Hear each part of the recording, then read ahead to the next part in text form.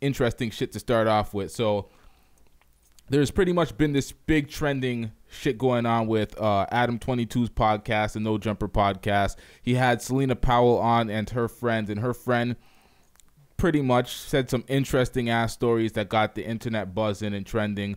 Uh, she talked about slurping seven NBA players back to back to back to back, all in a row, whatever. Them sitting in a hotel room and there's a lot of rumors that it is the Phoenix Suns, but these are rumors. They're they're not from credible sources, and a lot of people might just be saying that shit because they went eight and zero oh in the bubble. But I'm not buying that. I'm not spreading that. So don't take it from me like that's it is. Don't this is not confirmation that it's the Phoenix Suns. It's not confirmation by any means. So don't take it there. But let's listen to the interview. Since this was a YouTube interview on a YouTube platform, I'm probably not going to play the video. I don't want it to get demonetized or taken down completely. So Let's just listen to the audio. On my birthday, my birthday is Memorial Day weekend. Uh huh.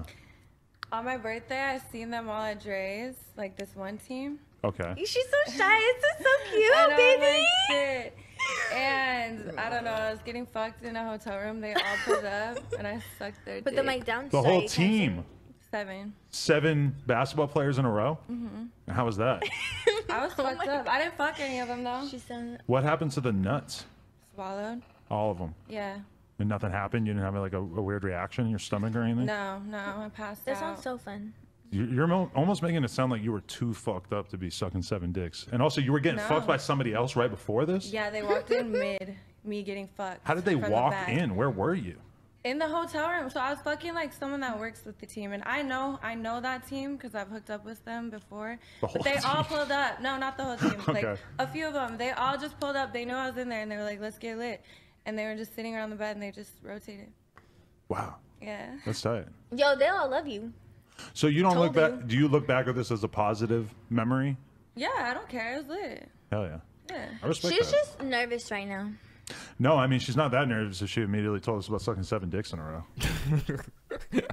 That's facts. Can't be that nervous if you're divulging that type of information. Um, it's pretty filth on her regard uh, for her to be doing that, and for all the seven NBA players back, you know, getting their dick sucked all in a row. All seven of them, all sitting in the same room on the same bed, waiting and watching each other. That's pretty filthy. I could imagine it went something like this. Take me out. It's my turn. It is. You told me it was my turn. You can talk all that you want Hey, to, yell hey, and scream. okay, you lost. it is my you turn. You lost the game. It's my turn. Take as long as you want. You still lost. That's filthy. I don't even understand. Like these girls come, not even girls. These thoughts come on the show and want to promote their whole behavior, and it's like it's all for the clout. This is like the clout wars out here. These girls come in. uh, See, see how how anxious and how giddy Celina Powell was about. Oh shit! This eyelash is fucking my shit up. Yeah, Celina Powell's been. She was so happy that she was telling these type of whole stories, the, her thought tales, uh, and it's like the cloud. Cloud is really a, a motherfucker because this girl said she's a CPA. Imagine her returning back to her office and all these other accountants looking at her like, "You did that, bitch!" Like Jesus Christ, like that's these girls are tripping.